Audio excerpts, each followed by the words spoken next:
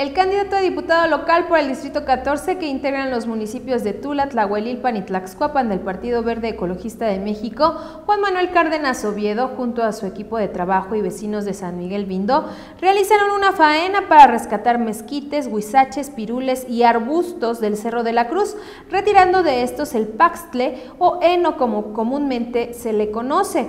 Como partido estamos preocupados por el planeta y por rescatar nuestros recursos naturales. El día de hoy nos dimos a la tarea de darles un respiro a nuestros árboles regionales, ya que esta planta se fija en ellos y asfixia las ramas donde se generan sus raíces, comentó el chino Cárdenas.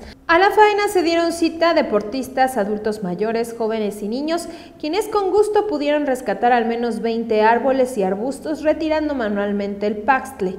Es muy importante que realicemos estas acciones como comunidad para que tengamos una mejor calidad de aire y nos unamos como vecinos y familia, expresó Miguel, vecino de la comunidad. Cárdenas mencionó que en caso de llegar a la Diputación creará un programa para resguardar a los árboles regionales de esta plaga, así como conferencias para la concientización del problema en los diversos niveles escolares. Vamos por la educación ambiental obligatoria en todos los niveles. Nuestros jóvenes están viviendo el cambio climático y somos las últimas generaciones que podemos hacer algo para revertirlo, finalizó el profesor.